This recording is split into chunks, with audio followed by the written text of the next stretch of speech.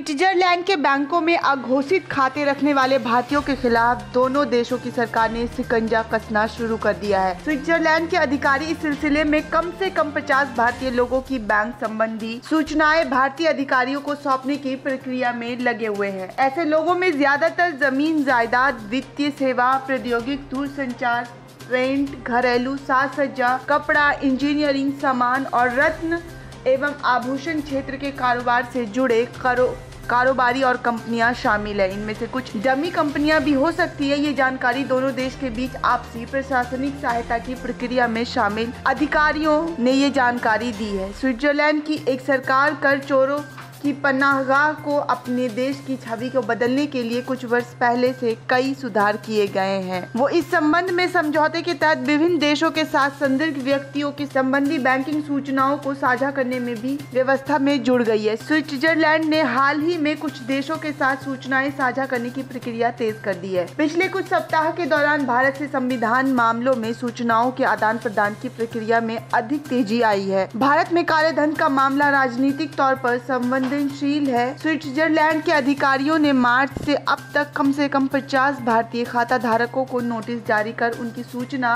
भारत सरकार को देने से पहले उन्हें उनके खिलाफ अपील की एक अंतिम मौका दिया है। वहीं स्विट्जरलैंड उसके बैंकों के खाते रखने वाले ग्राहकों की गोपनीयता बनाए रखने को लेकर एक बड़े वैश्विक वित्तीय केंद्र के रूप में जाना जाता है। लेकिन कर चोरी के मामले में वैश्विक स्तर पर समझौता के बाद गोपनीयता का ये दीवार अब नहीं रही। खाता धारकों की सूचनाओं को साझा करने के लिए भारत सरकार के साथ उसने समझौता किया है। अन्य देशों के साथ भी ऐसे समझौते किए गए हैं।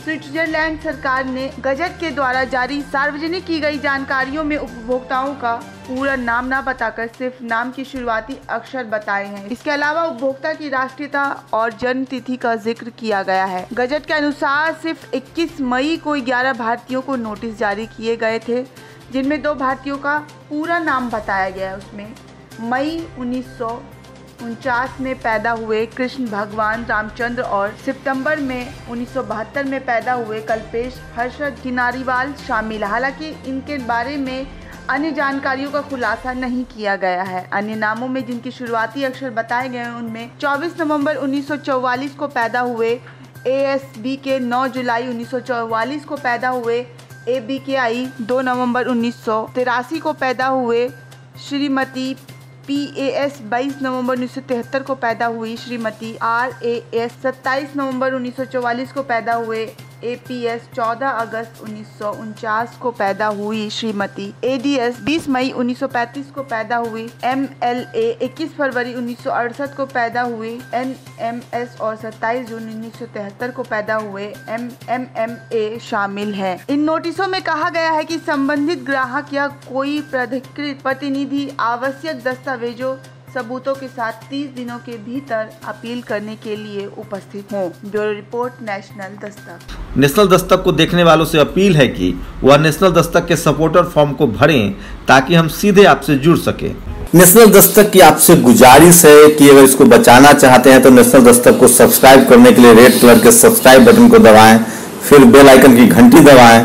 नेशनल दस्तक को बचाने के लिए बहुत ज़रूरी है कि हर खबर को शेयर करें लाइक करें कमेंट ज़रूर करें।